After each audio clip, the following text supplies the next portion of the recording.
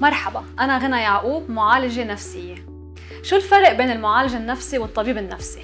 سؤال بينطرح كتير عنا بالعيادة. الطبيب النفسي هو شخص حائز على شهادة بالطب العام وبعدين تخصص بالطب النفسي. بينما المعالج النفسي هو حائز على شهادة ماجستير بعلم النفس.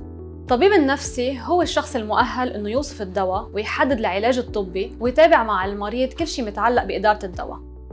هو بيقوم بالتقييم من خلال الاطلاع على الشق النفسي والصحي كرمال نستغني أو استبعاد عن أي عوامل طبية ممكن تكون هي مؤدية للاضطرابات النفسية.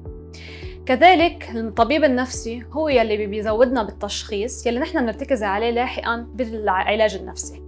الهدف من العلاج النفسي بيكون تخفيف عبء العوارض النفسية من خلال العودة إلى العوامل المسببة لهالمشكلة وكمان من خلال تغيير أو تعديل بعض السلوكيات وتغيير طريقة التفكير وتغيير نمط الحياة. المعالج النفسي هو مخول إنه يقوم بالاختبارات النفسية مثل اختبارات الذكاء أو اختبارات القدرات الذهنية وكمان اختبارات تحديد الشخصية. آخر شيء مهم نعرفه هو إنه دور المعالج النفسي ما بيقل أهمية عن دور الطبيب النفسي والعكس صحيح.